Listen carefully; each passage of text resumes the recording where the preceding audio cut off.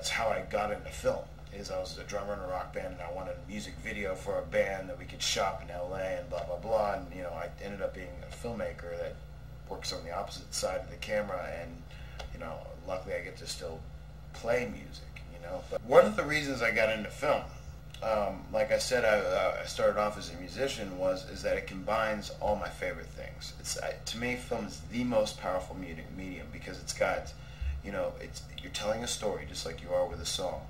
It combines music, it combines photography, it combines acting and theater and everything to a very powerful medium that people see in theaters, they see on TV, they see on, on the, online now. It is probably, you know, if you want to make an impression or if you want to tell a story or you have a point to make or whether you just want to make people laugh or you want to make them cry or you want to do something really profound like Michael Moore does every time he makes a film, you know, film is, is, is the most powerful medium um, because it combines all these forms of art, you know. Um, I, yeah, I, I, feel really lucky that I get to be really involved, um, sort of like Robert Rodriguez is with his pictures. Um, you know, this one I happen to co-write as well, but as a, as a, as a cinematographer and director and producer, um, you know, I hired myself to score the movie with Joe, and I'm also editing it, and I'm going to be playing in the band Rolling Thunder. So um, it really, I you know, as a director, it's great because not only can I put on my stamp on the film, you know, being involved in every aspect, but I seriously think um, I can't remember what I was telling the other day. I see I see myself as a, directors as sort of like a conductor because you're not acting for your actors. And a lot of the times there's nothing you can say other than be supportive, you know, to help them with their performance. You're capturing their brilliance, you know. So you're sort of leading them in the right direction, essentially. Um, so I see myself as more of a conductor than a director, if that makes any sense. Um, so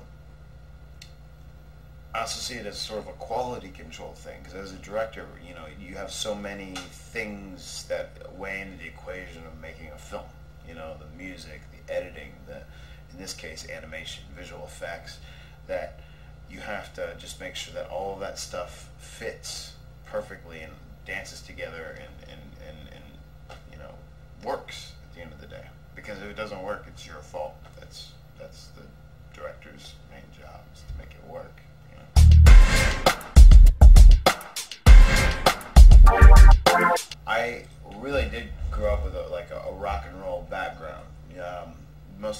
Played in were either speed metal or grunge to just straight rock and roll.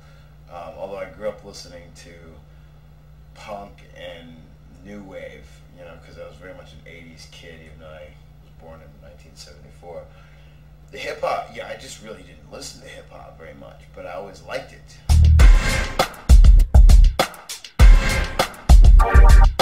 We did some tracks on Intoxicating with Sendog of Cypress Hill. And, um, you know, I just remember in high school, um, I guess Insane in the Membrane was the, the you know, uh, he was the guy that went, Insane in the Brain, you know. And I thought, God, I can't believe we're going to have this guy on one of our tracks. And we got, it's funny, I found out through a mutual friend um, that um, Coolio and Sendog had always wanted to do a track together. So we did two tracks with them and it's really cool because what we did is we combined. Um, I've always been into combining different genres. Um, Coolio said it, the beat sounded a little like hip hop meets Red Hot Chili Peppers, which I thought was strange um, because it was a little faster than most hip hop stuff. And uh, you know, he did 16 bars, and and uh, Sendogs uh, did 16 bars and then it breaks down in the middle to this sort of um, really beautiful ambient Middle Eastern vocalist. Her name is Azam Ali. I can't remember the name of the band she's in now, but she has a very beautiful, like Lisa Gerrard type voice. And I've always loved combining things like that. So they're very strange track. I mean, like you wouldn't hear this on a hip hop station. This is something unto itself. It's a little bit weird. It's a little bit faster. It's like a, um, you know, it's not what everybody. I mean, rewind for a second and go back to um, um, what Coolio was saying. We did another track with him and a couple of other artists, Sendog being one of them. Um, Nebula, that used to be part of the Warren G G outfit, five footers, um, and it's a, it's a lot more typical hip hop. You know what you know is more hip hop than, than the track I'm talking about. Die for Me is what it's called. Um, and then um, you know we even did some some pop stuff, a little bit of pop stuff, and um, the uh, the most hip hop of all the tracks is one we did with Mopreme Shakur and um, uh, Medusa. And it's called Blow Your Mind, and it's just really, it's just it's a gangster rap, you know, which is strange because I'm so not from that world, but it's music, you know. And I didn't write the words. And I just wrote the beat, you know.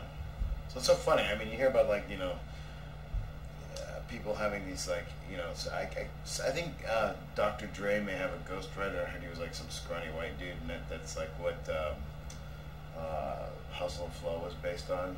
It was that, that, that, that concept, which is funny because you know I, I recently I've been uh, someone just gave me a Jack Kerouac script to read, and um, he was really good friends with this this big gigantic bass player guy. Um, I can't remember name, Paul something, Ron, Ron something.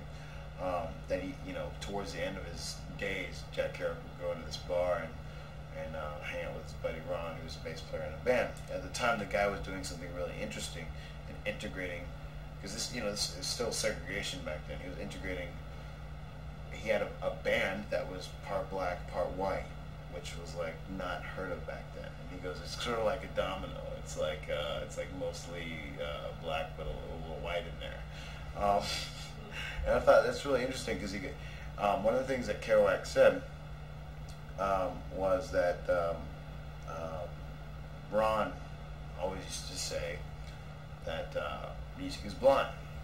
You know, so which is a cool thing because you think about how Elvis you know, basically copied blues.